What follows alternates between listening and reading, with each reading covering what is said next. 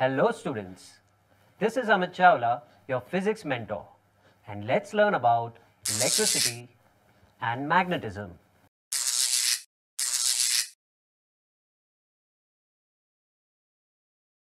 Learning about electric cell.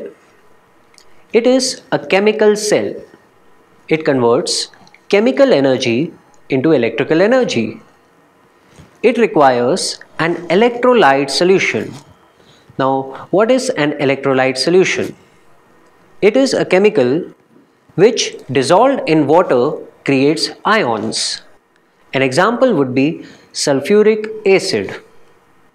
When we add sulfuric acid to water, it ionizes. It ionizes into hydrogen ion and sulfate ion.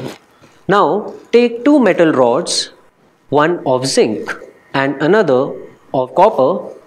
Now dip them in the solution. If we connect the wire to the rods and dip the rods in the container, there we have it, an electric cell. Electric cell is now ready to supply current. The chemical reaction occurs within the cell that converts the chemical energy into electrical energy.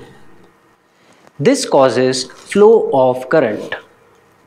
In this case, copper rod becomes positive electrode which is also called anode whereas zinc becomes negative electrode which is called cathode. Nowadays we do not use the chemical cell. We use a dry cell